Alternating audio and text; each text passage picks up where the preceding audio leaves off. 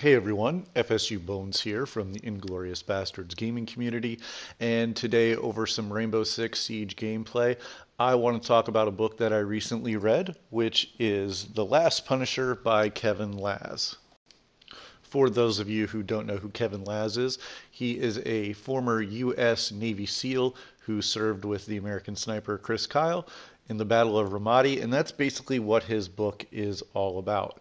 Now, I'm not a big fan of reading. Uh, I went to college for many, many years, and during that time, I spent a ton of time reading uh, books and research articles for what I do now.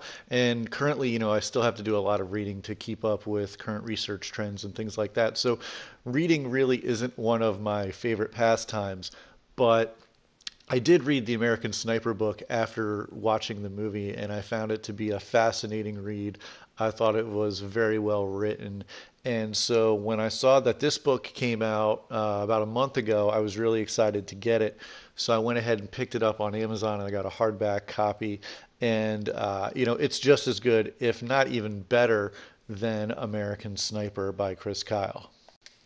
The thing I really loved about this book is it really does bring out a ton of different emotions in you as you read it. Uh, there are parts that are very funny and will make you chuckle. There are parts that will kind of put you in amazement over the things that he saw and did. Um, there are parts that are very uplifting and, and uh, you know motivational, and there are parts that uh, are also very sad, and you know you feel some uh, real sorrow for the things that he had to go through um, in his time in Ramadi. Um, but a real fascinating read. I, I, think you'll find it very difficult to put this book down. Um, it's only about 250, 260 pages, maybe. Um, so you can finish it off pretty quickly.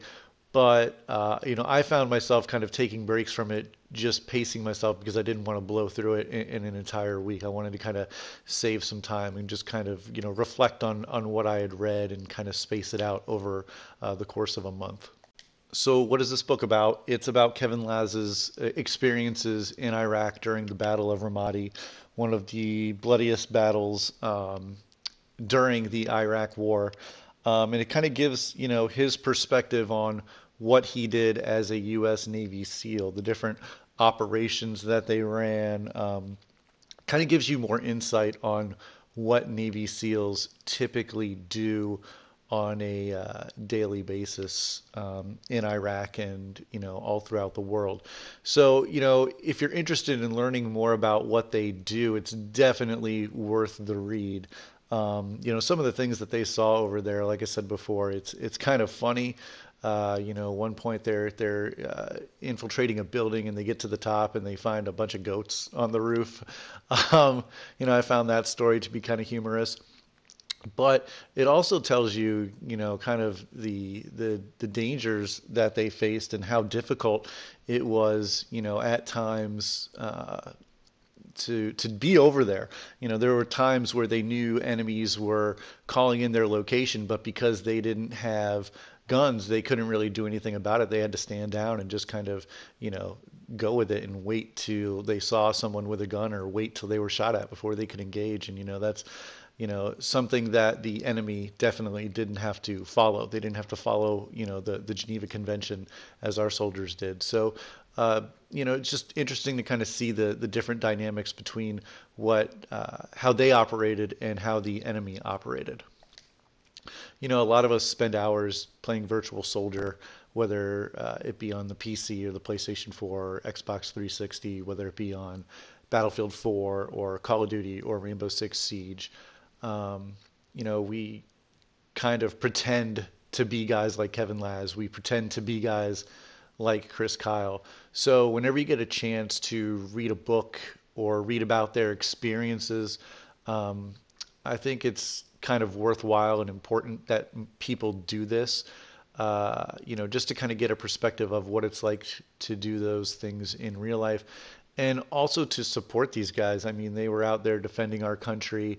Um, you know, soldiers don't make a whole lot. Uh, they deserve to be paid a lot more, in my opinion. So, whenever they have a chance to write a book and it gets published and make a little extra money for their family based on their experiences, you know, I like to support that and um, you know, I highly encourage anyone out there who's interested, you know, in first-person shooters or military or war in general.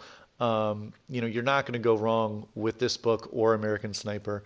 Um, again, highly recommend that you pick it up. Anyways, guys, I'm obviously not a book critic, but if you're looking for a good way to kill a little time, I highly recommend picking up The Last Punisher by Kevin Lacz. Um, you know, it's just a great story, and you know, uh, if you're watching this and you are a serviceman or a former serviceman or woman, uh, I'd just like to extend my deepest thanks for your service and uh, wish you all the best. Anyways, guys, this is FSU Bones wishing you happy gaming. I'll see you next time. Bye.